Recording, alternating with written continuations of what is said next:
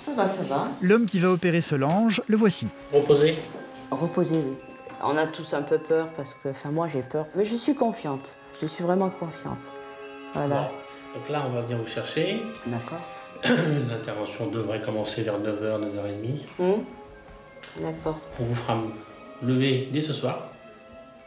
D'accord. 6 heures après l'intervention, debout. D'accord. Je vous remercie. Bonne À journée. tout à l'heure. À tout à l'heure. À peine quelques minutes plus tard, c'est au tour du brancardier de faire son apparition. Bonjour. Ça y est, déjà, je m'en vais Allez, on part au bloc. Allez, on se remet. On n'avait pas de bijoux, pas d'appareil dentaire et pas de sous-vêtements, madame. Rien du tout. Nu comme un verre. On peut y aller. Allez, ça va.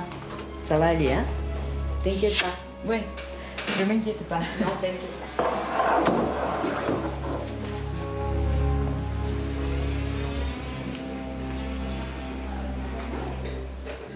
On va attendre.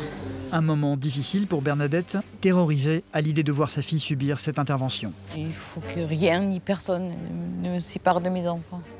Avec tout de l'oxygène, Oui. vous allez bien respirer dedans. Solange est désormais sur la table d'opération. Les choses vont prendre un peu plus de temps que prévu. À cause de sa masse corporelle, l'infirmier a beaucoup de mal à trouver l'une de ses veines pour la perfusion. Une attente insupportable pour Solange qui ne parvient plus à contrôler sa peur.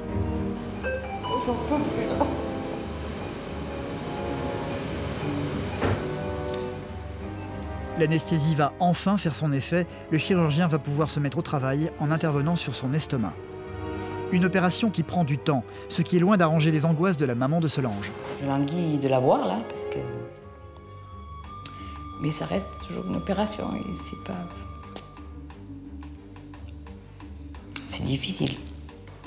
L'intervention aura duré deux heures en tout. Le chirurgien va immédiatement venir rassurer la famille. Alors C'est très bien Elle est réveillée.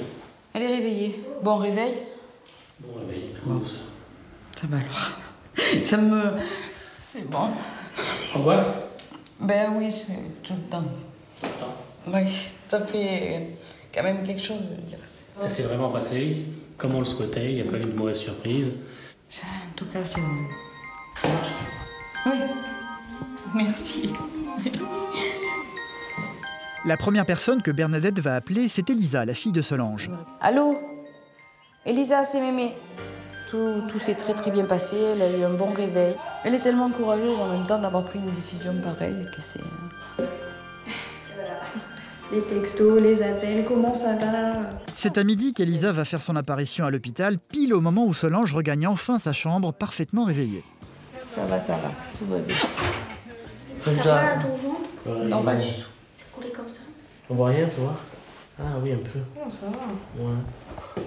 Voilà, monsieur Daman. Et C'est pas qu'il y aurait du monde, mais on sent qu'elle n'est pas abandonnée. Ça, oui. Enchanté. Pour convaincre ses patients qu'ils pourront reprendre une vie normale très rapidement, le chirurgien a pris l'habitude de les obliger à se mettre debout presque immédiatement après l'opération. Prête?